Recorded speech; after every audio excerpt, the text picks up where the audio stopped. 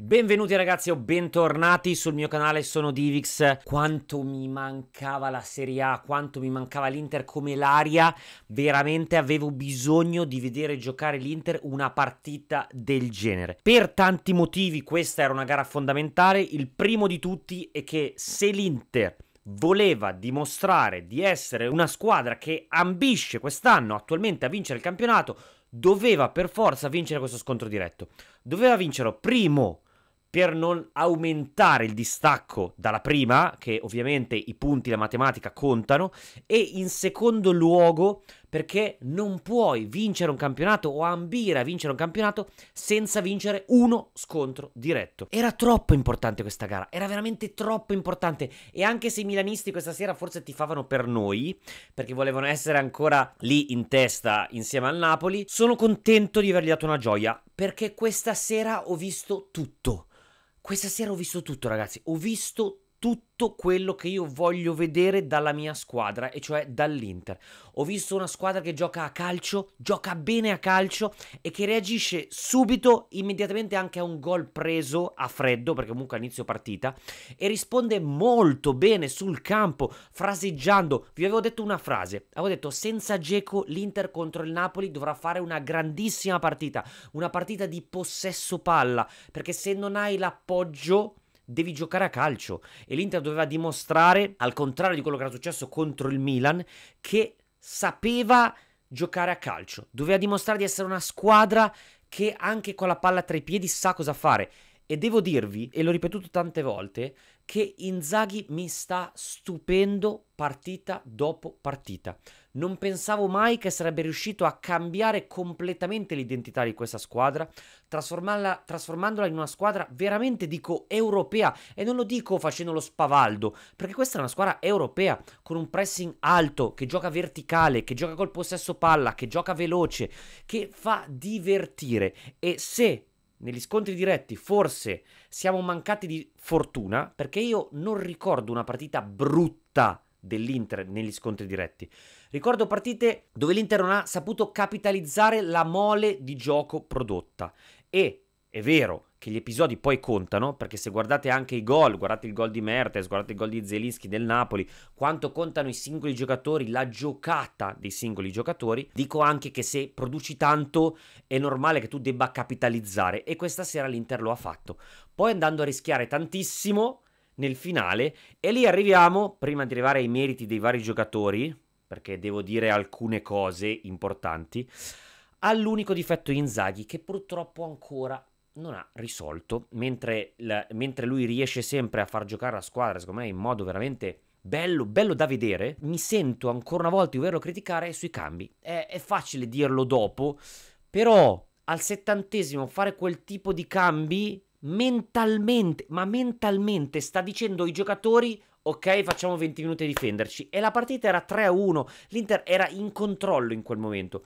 Togliere Barella, che è il fulcro del gioco dell'Inter, anche mentale, perché uno che parla, urla, è il futuro capitano, quindi è normale che sia il centro del gioco dell'Inter. Toglierlo, anche se poi diciamo sempre che Barella gioca sempre, gioca sempre, gioca sempre, deve riposare, ma questa è una partita troppo importante. Poi l'Inter ha rischiato addirittura di pareggiarla. Il Napoli, per le due occasioni clamorose avute nel finale, penserà di aver meritato un pareggio. Io vi dico che l'Inter ancora una volta però nella prestazione globale ha dimostrato di essere una grandissima squadra che poi sa soffrire.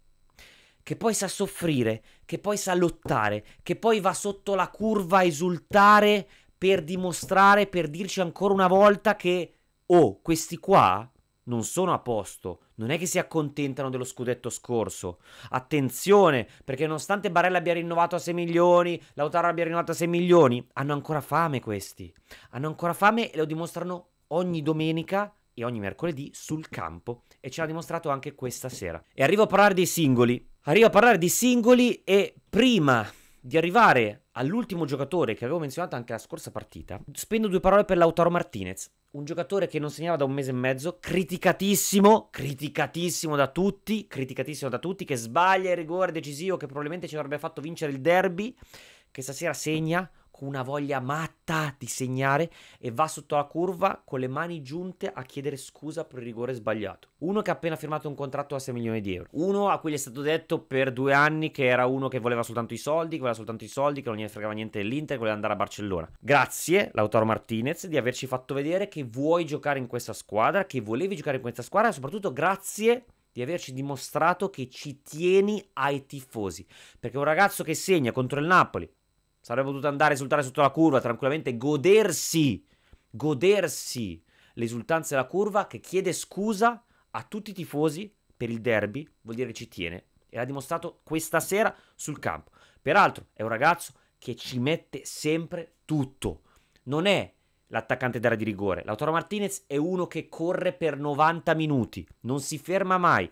Peccherà di lucidità davanti alla porta? Sì, lo dico da un anno che pecca di lucidità davanti alla porta, però vi dico anche che se corri così sei giustificato al fatto che tu possa avere meno lucidità poi quando sei davanti alla porta. Ci può stare. Quando comincerà a fare 20-30 gol a campionato sarà uno degli attaccanti più forti in Europa, ma secondo me ci arriverà. Secondo me l'Auto Martins arriverà a fare 20-25 gol in campionato tutti gli anni. Gli manca tanto così. Gli manca tanto così, ve lo dico, gli manca tanto così a fare quel salto di qualità ci arriverà, sono sicuro al 100%. Potrei parlare di tantissimi giocatori, tanti, perché oggi l'Inter secondo me ha fatto una grande partita, una grande partita. Andanovic che salva quella, quella palla sul finale che non so neanche come sia uscita, veramente rimbalzata sulla traversa due volte forse, incredibile, veramente incredibile. La difesa, Bastoni ha fatto una partita incredibile, Ranocchia, Ranocchia che ancora oggi è più forte quando aveva 24 anni ed era capitano dell'Inter. Skriniar, il centrocampo, Brosi, tutti, tutti, potrei parlare di tutti, Darmian che ha fatto una partita bellissima secondo me, sia come qualità che come quantità, ma dico un nome e dirò soltanto lui. Ivan Perisic. Rinnovate il contratto a Ivan Perisic perché in questo momento, anche visto quello che ha fatto ieri sera Teo Hernandez, è il migliore esterno sinistro del campionato italiano. È uno che fa la fase difensiva, la fase offensiva e i gol. Fa tutto. Fa tutto. Quantità, qualità, è più forte anche lui adesso. Ha trovato il suo ruolo. Perisic avrebbe dovuto giocare in questo ruolo qua da quando aveva 25 anni. Se avesse fatto questo ruolo qua a 25 anni, oggi sarebbe stato considerato uno dei migliori esterni al mondo perché questo è il suo ruolo, perché ha campo davanti. Quando lui ha campo davanti è devastante e nonostante, e nonostante abbia 33 anni, ancora è più veloce degli altri. Rinnovate il contratto Ivan Persi, ve lo chiedo in ginocchio perché l'anno prossimo non ne troviamo uno più forte. Non c'è sul mercato, visto che l'Inter non spenderà 60-70 milioni, non c'è uno più forte di Van Persie. Non facciamo errori, non facciamo cazzate. È qua, gli si fa uno o due anni di contratto. Vuole 4 milioni, vuole 5 milioni. Rinnovate il contratto a Ivan Perisic. Perché è fondamentale per questa squadra. Fondamentale. Il gol che ha fatto questa sera non so neanche fisicamente come fosse possibile. Quando l'ho visto al replay ho detto ma come ha fatto a segnare quella posizione? Non, non lo so come sia possibile. Non lo so. Questa è la fine, la chiusura del video. non volevo esagerare, non voglio neanche andare oltre, sono felicissimo. Mi mancava l'Inter, mi mancava una vittoria così. Siamo in corsa, siamo lì soprattutto perché è tornata anche la Juventus, che magari non sarà la Juventus che fa paura a tutti quanti, però vince. E finché vince bisogna starci attento perché comunque anche loro hanno dei giocatori di qualità, tanta qualità e possono fare la differenza. Scrivete cosa sotto se ne pensate, come avete vissuto questa partita importante, se avete l'ansia come me. Noi ci vediamo come sempre al prossimo video, se non siete iscritti al mio canale, vi piace il calcio, ma soprattutto se vi piace l'Inter iscrivetevi. Ciao ragazzi.